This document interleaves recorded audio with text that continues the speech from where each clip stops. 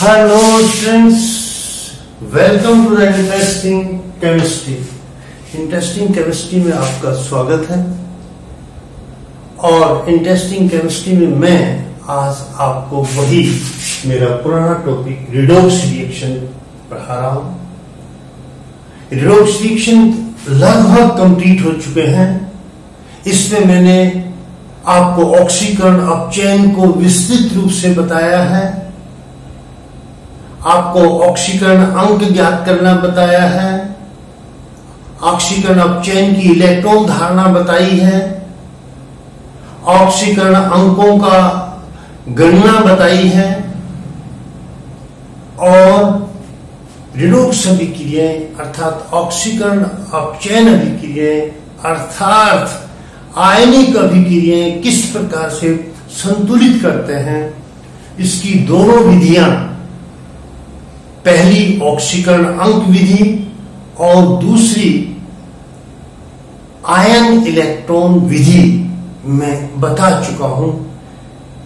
मेरा कहने का तात्पर्य यह है कि ये पूरा अध्याय रिडोक्स रिएक्शंस का खत्म हो चुका है, लेकिन एक कुछ बिंदु बचे हैं, वो और मैं पूरा करना चाहता हूँ। आज का जो बिंदु है, आज का जो मुख्य टॉपिक है, वो है फॉर्मल चार्ज और इसको औपचारिक आवेश कहा जाता है। यदि आपकी परीक्षा में ये पूछ लिया जाए कि औपचारिक आवेश किसे कहते हैं तो आप क्या जवाब देंगे? इसलिए आज मैं औपचारिक आवेश की फॉर्मल चार्ज की व्याख्या करने जा रहा हूँ। ये पहले मैं कंप्लीट तुलना करता हूँ। आपके बंध तीन प्रकार के हैं, आयनिक बंध सहसंयोजी बंध और तीसरा जो होता है उप सह संयोजी बंध आयनिक बंध में आप जानते हैं कि इलेक्ट्रॉन का पूर्णतः स्थानांतरण हो जाता है, इसलिए पॉजिटिव और नेगेटिव दो आयन बन जाते हैं। सह संयोजी बंधों में इलेक्ट्रॉनों का साझा होता है और इलेक्ट्रॉनों का साझा, यदि दोनों जिन परमाणुओं के मध्य इलेक्ट्रॉनों का साझा होता है, उनकी यदि विद्युत ऋणता बराबर है तो वह अणु या वह यौगिक शुद्ध सहसंयोजी कहलाता है। और यदि विद्युत ऋणता में अंतर होता है तो उसमें आयनिक लक्षण आ जाते हैं। जैसे, यहाँ हाइड्रोजन के बारे में बताता हूँ। हाइड्रोजन का एक अणु तो हाइड्रोजन का एक ये और ये H2 है तो इसमें ये शुद्ध से, ये जो बीच का जो बंध है, बंधित इलेक्ट्रॉन है, ये दोनों हाइड्रोजनों के बराबर होगा और इसलिए ये शुद्ध सहसंजी होगा। लेकिन यदि यही इलेक्ट्रॉन क्लोरीन और उसके बीच में आ जाए क्लोरीन और उसके बीच में आ जाए तो ये हाइड्रोजन और क्लोरीन यहाँ पर ये इलेक्ट्रॉन युगम हल्का सा शिफ्ट हो जाता है। शिफ्ट हो जाता है या सरक जाता है, जिसके कारण से यहाँ आंशिक आवेश आ जाता है डेल्टा पॉजिटिव हाइड्रोजन पर और डेल्टा नेगेटिव पर। इसको आप ऐसे भी कर सकते हैं, ये ऐसा भी किया जाता है। यहाँ हाइड्रोजन यहाँ Cl नेगेटिव इस प्रकार से। तो जब हम वेव फ़ंक्शन की बात करते हैं इलेक्ट्रॉन की तो उस समय इलेक्ट्रॉन क्लाउड जो है वो क्लोरीन की तरफ़ ज़्यादा आ जाता है जिसके कारण से क्लोरीन पर परमाणु पर इलेक्ट, इलेक्ट्रॉन डेंसिटी बढ़ जाती है और इलेक्ट्रॉन डेंसिटी जब बढ़ जाती है तो आवेश आ जाता है। ये भी औपचारिक आवेश नहीं है। औपचारिक आवेश आपको उप सहसंयोजी बंधों पर मिलता है।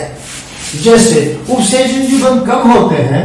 जब जैसे मान लो ए के पास दो इलेक्ट्रॉन है और ये बी है बी को कोई के पास कोई इलेक्ट्रॉन नहीं तो ए ने पहले अपना एक इलेक्ट्रॉन बी को दिया, ऐसा समझाते हैं। समझाने के लिए है, वहाँ पर कोई ऐसा नहीं है जैसा मैं बोल रहा हूँ कि इलेक्ट्रॉन देता है, फिर साझा करता है, ऐसा कुछ नहीं। केवल आपको समझाने के लिए मैं ये कहानी के रूप में आपको बता रहा हूँ। तो दिया और फिर उसी के साथ में ही साझा कर लिया।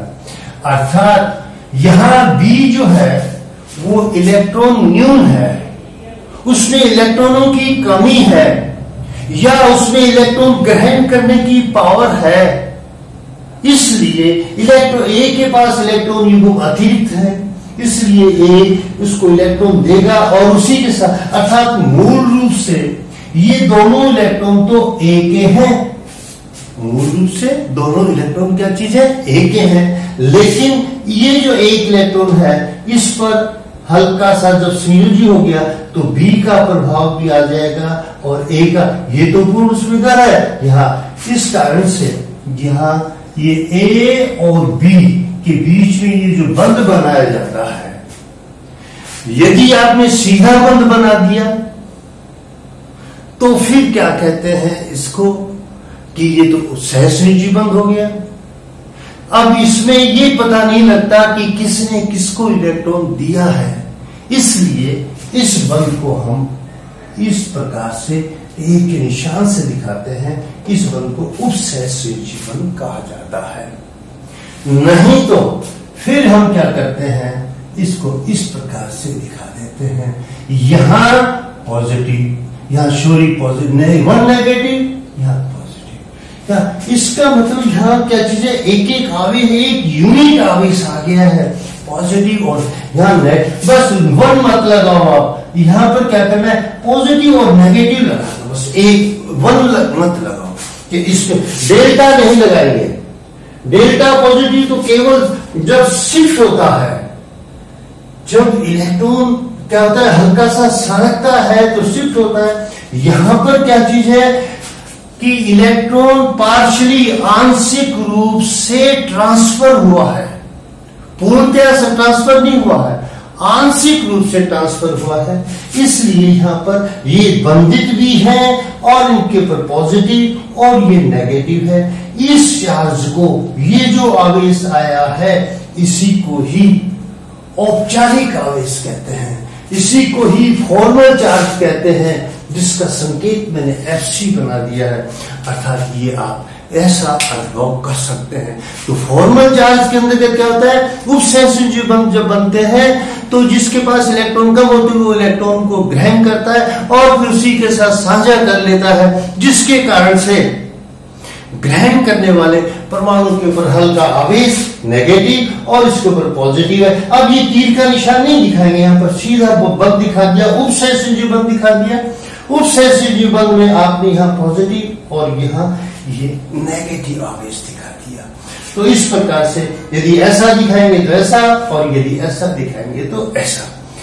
इस प्रकार से ऐसे आवेश को कि हम क्या कहते हैं? औपचारिक आवेश कह दिया जाता है कि जब क्या होता है? उस जी जब बन, बनते हैं उस समय जब एक परमाणु इलेक्ट्रॉन रिच होता है और दूसरा परमाणु इलेक्ट्रॉन न्यून होता है उस समय जब दोनों परमाणु इकट्ठे आते हैं जिसके पास ज़्यादा इलेक्ट्रॉन होते हैं उसको एक दे देता है फिर उसी के साथ साझा कर लेता है।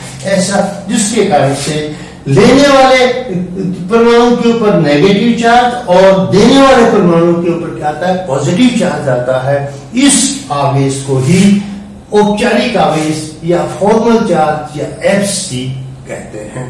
इसका उदाहरण और मैं बता देता हूँ कि आपके अंदर जब क्या है कि एग्ज़ाम्पल इसका और देता हूँ मैं यहाँ पर। अमोनिया का उदाहरण लीजिए। छोड़। अमोनिया का उदाहरण लीजिए, ये एन है और यहाँ से ये H ammonia.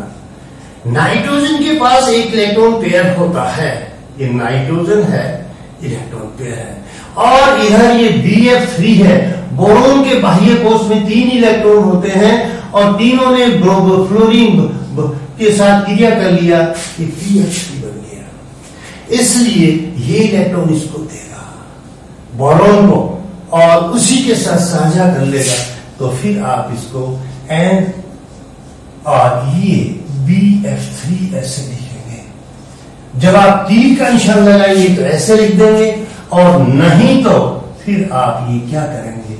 N S three B F three B F three के ऊपर हल्का नेगेटिव चार्ज और एन नाइट्रोजन के ऊपर हल्का पॉजिटिव चार्ज दोनों जुड़े हुए हैं। आयनिक यौगिक में तो एन पॉजिटिव और सी एल नेगेटिव अलग अलग हो जाते हैं, कोई आपस में वो नहीं है। आकर्षण है, लेकिन यहाँ ये बंधित है और इसके ऊपर हल्के हल्के जो चार्ज आते हैं, उस चार्ज को क्या कह दिया जाता है? औपचारिक आवेश कहते हैं। आशा करता हूँ आप औपचारिक आवेश समझ गए होंगे। अब औपचारिक आवेश के ऊपर मैं आपको की प्रश्न पूछता हूँ कि औपचारिक आवेश कैसे याद करेंगे? औपचारिक आवेश कैसे ज्ञात करेंगे जैसे मान लो यहाँ पर लिया है आपने ये क्वेश्चन दो ले, पहले लेता हूँ S C L O four S C L O four में सी एल पर औपचारिक आवेश ज्ञात करना है। सी एल का औपचारिक आवेश ज्ञात करना है। तो आप कैसे करें? इसकी संरचना बनानी पड़ेगी। इसकी क्या बनानी पड़ेगी? संरचना बनानी पड़ेगी। S C L O four H C L O four S C L O four की जब संरचना बनाएँगे आप तो ये बनाएँगे H O C L C L और सी एल ये है S C L O four की संरचना। S C L O four की जब संरचना आपने बना दी तो फिर औपचारिक यानी एफ़ सी फॉर्मल चार्ज का शॉर्ट रूप मैंने एफ़ सी बना दिया है। एफ़ सी बराबर परमाणु के संयोजकता कोष में इलेक्ट्रॉन की संख्या। इसका निकालना है आपको। सीएल का एफ़ सी निकालना है बराबर।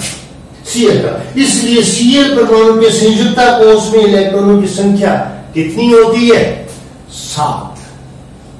क्लोरीन का नंबर सत्रह पहले कोष में दो, दूसरे में आठ और तीसरे नंबर में सात। तो सात इलेक्ट्रॉन आ जाएँगे माइनस बंदों की संख्या। ये बंदों की संख्या आ गई एक, दो, तीन और चार। ये चार बंदों की संख्या आ गई। और उसके पास में इस क्लोरीन के ऊपर कोई भी इलेक्ट्रॉन, अबंधित इलेक्ट्रॉन की संख्या कोई भी अबंधित इलेक्ट्रॉन नहीं है। इन समस्त क्लोरीन ऑक्सीजन के ऊपर बंधित इलेक्ट्रॉन है यहाँ पर। यहाँ पर बंधित इलेक्ट्रॉन है। यहाँ पर बंधित इलेक्ट्रॉन है। इन्होंने क्लोरीन के जो इलेक्ट्रॉन थे, छह इलेक्ट्रॉन थे, दो यहाँ थे, दो यहाँ थे, दो यहाँ थे, और एक ने साझा कर लिया। तो सबने यहाँ सात, इसलिए यहाँ प्लस तीन करें, प्लस ज़ीरो करेंगे, और इजिकल टू, प्लस तीन। प्लस तीन क्लोरीन पर औपचारिक आवेश एस सी एल फोर में तीन है। फिर मैं आपको यहाँ समझाने याद कर रहा हूँ कि ऐसी कि ओ एम और एफ़ सी ऑक्सीडेशन नंबर और औपचारिक आवेश दोनों भिन्न भिन्न है।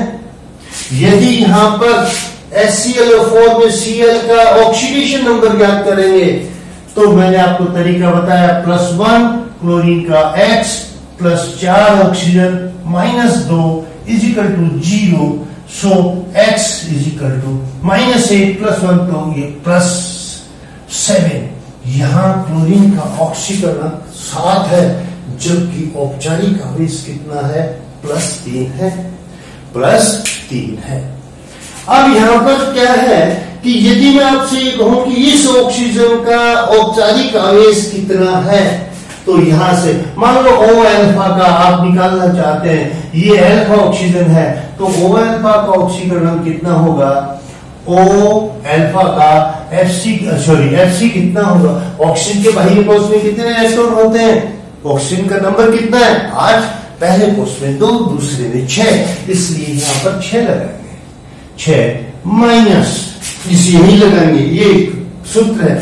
बंदों की संख्या एक बंद यहाँ कितना बनवाने हैं छ माइनस एक। और इलेक्ट्रॉनों की संख्या कितनी है?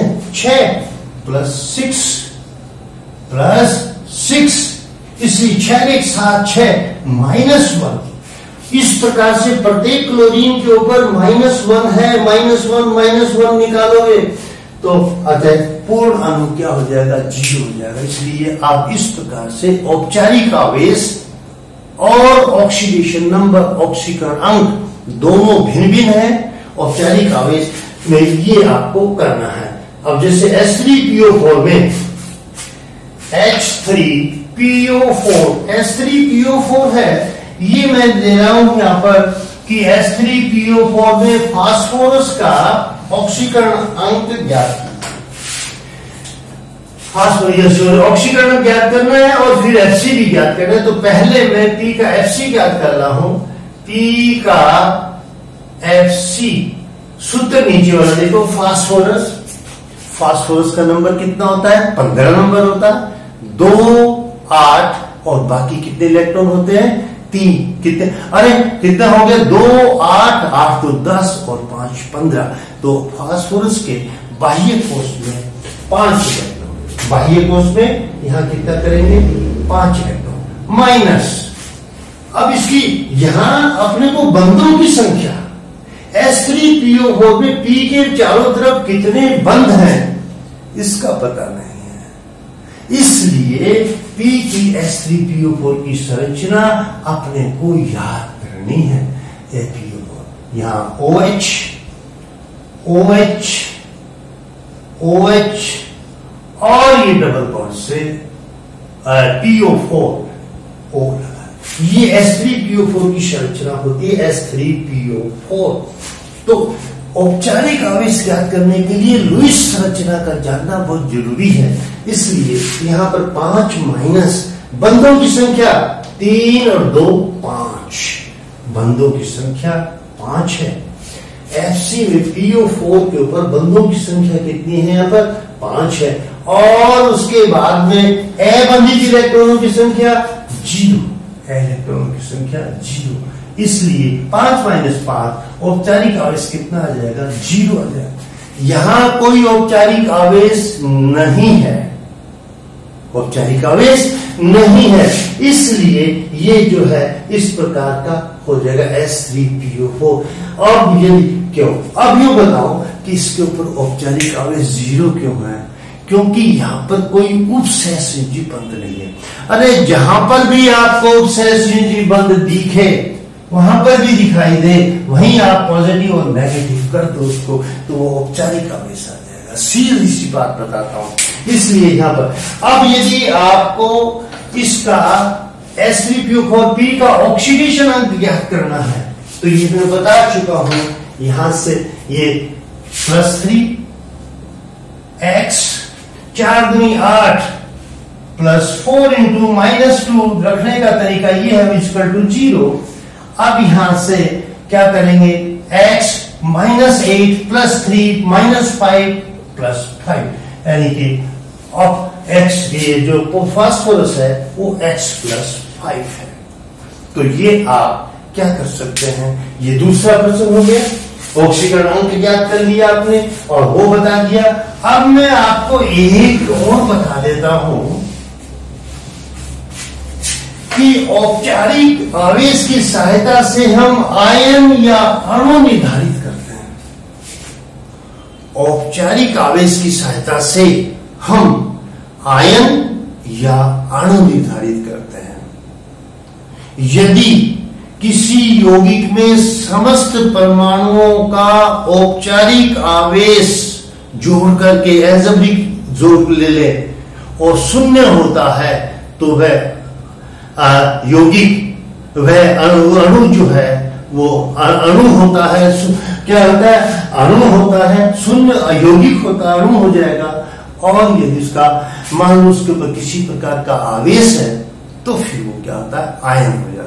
अब जैसे मैं एच एन ओ थ्री की संरचना के आधार पर आपको सिद्ध करके बताता हूँ। H N O three H N O three की रचना क्या होती है? O N double bond O और ये H N O three nitrogen ये एच एन ओ थ्री की संरचना होती है। अब इसमें क्या है? कि यहाँ से समस्त एक, दो, तीन, चार और पाँच, यानी सभी के परमाणुओं का औपचारिक आवेश ज्ञात करना पड़ेगा। यहाँ पर हम एन का एफ़ सी बराबर, नाइट्रोजन के बाह्य कोष में कितने इलेक्ट्रॉन होते हैं, नाइट्रोजन का नंबर कितना होता है? कितना नंबर है नाइट्रोजन का? सात, पाँच पाँच आ जाएँगे। पाँच बंदों की संख्या कितनी है? एक, दो दो, चार।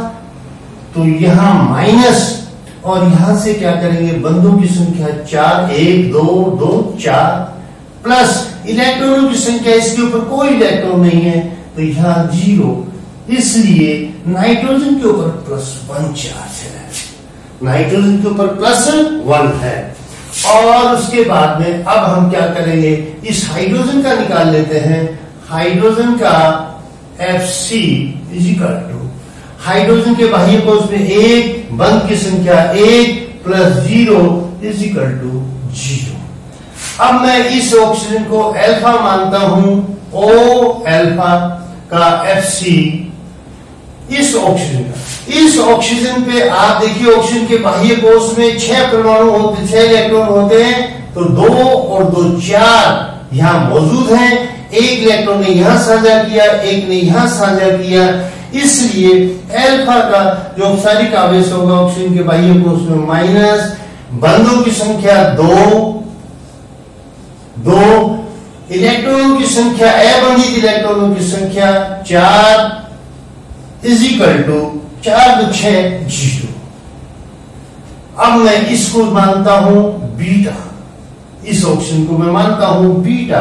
तो ओ बीटा का एफ़ सी ज्ञात करो। बाह्य कोष में इलेक्ट्रॉन कितने होते हैं ऑक्सीजन के? छह। और यहाँ दो इलेक्ट्रॉनों से साझा कर लिया, दो ने यहाँ पर किया तो ओ बीटा छ माइनस बंदों की संख्या कितनी है? दो। और इलेक्ट्रॉनों की संख्या जिन्होंने बंद बनाने में भाग नहीं लिया है बंदित इलेक्ट्रॉनों की संख्या कितनी हो जाएगी? चार। तो ये भी ज़ीरो। अब इसके ऊपर आते हैं, इस ऑप्शन के ऊपर। इसका खुद के जो छह इलेक्ट्रॉन है, जो कि त्यों है इसके पास में, क्योंकि ये तो नाइट्रोजन ने जो इलेक्ट्रॉन दिया है उससे इसको साझा किया है। अतः ओ इसको मैं गामा मान लेता हूँ। ओ गामा पर F C equal to six minus बंदों की संख्या एक और इलेक्ट्रॉनों की संख्या कितनी है? छ प्लस सिक्स करेंगे। Equal to six minus seven minus one तो मैंने आपको उदाहरण बताया पहले ये तो आपको परीक्षा में तो करना ही करना है, इस तरीके से यदि आपके पास आ जाता है। लेकिन आपको इस बोर्ड को देखते ही समझ जाना चाहिए कि यहाँ पॉजिटिव बोलेगा और यहाँ नेगेटिव बोलेगा। तो यहाँ नेगेटिव बोलेगा। अब आपको ये बताना है कि ये आयन है या अणु है? इसके समस्त नाइट्रोजन हाइड्रो तीनों ऑक्सीजन हाइड्रोजन और का योग कितना है?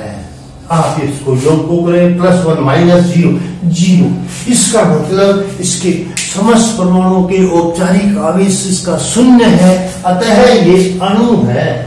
अतः ये क्या चीज़ है? अणु है। एच एन ओ थ्री क्या है? एक अणु है। मोलिक्यूल है। उदासीन है। अणु है। लेकिन एस आई एफ़ सिक्स की बात करता हूँ मैं। S I F six S I F six ये छह फ्लोरीन लगे हैं, छह फ्लोरीन लगे हैं, छह फ्लोरीन लगे एस आई एफ़ सिक्स तो एस आई का एस आई का F C equal to silicon silicon का नंबर होता है fourteen two eight six sorry two eight four तो सिलिकॉन के बाह्य कोष में कितने इलेक्ट्रॉन हो जाते हैं? चार। बाह्य कोष में चार एफ़ सी तो वही तरीका, बाह्य कोष में चार इलेक्ट्रॉन।